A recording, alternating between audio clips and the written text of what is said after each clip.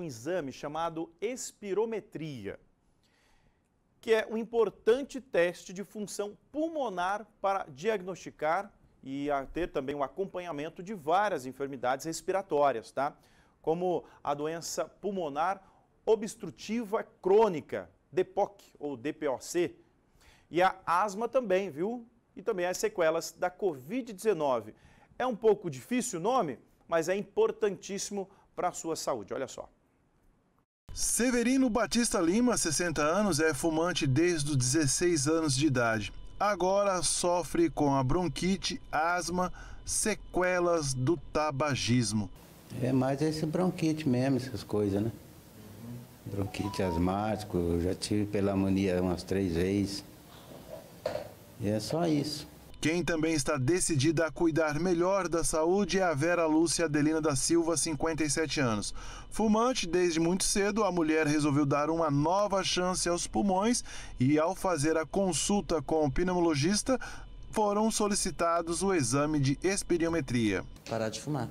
A vontade é grande. E procurou o médico? Procurei o médico e me encaminharam para o exame para ver a situação do pulmão. E aqui estou. E quem explica o que é este exame é o fisioterapeuta Astrogildo Alonso Neto.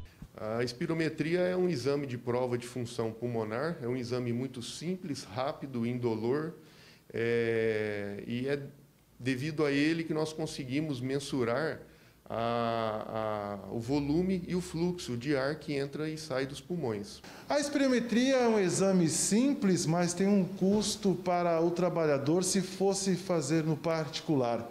Antes, o paciente precisava viajar 330 quilômetros até a capital. E agora está sendo disponível aqui no Centro de Especialidades Médicas. A pandemia do coronavírus trouxe um amplo conhecimento sobre a variedade de sintomas e tipos de doenças respiratórias que atingem toda a sociedade. O exame é um importante aliado no diagnóstico de danos desses problemas. O exame pode ser realizado por um médico pneumologista ou um fisioterapeuta, como acontece no Centro de Especialidades Médicas aqui em Três Lagoas. Em torno aí de 60% dos pacientes que tiveram a infecção com o Covid, é, esses pacientes ficaram com alguma sequela respiratória. E, devido a isso, nós conseguimos aqui ver qual foi o tipo de restrição e obstrução que ficou nesses pacientes.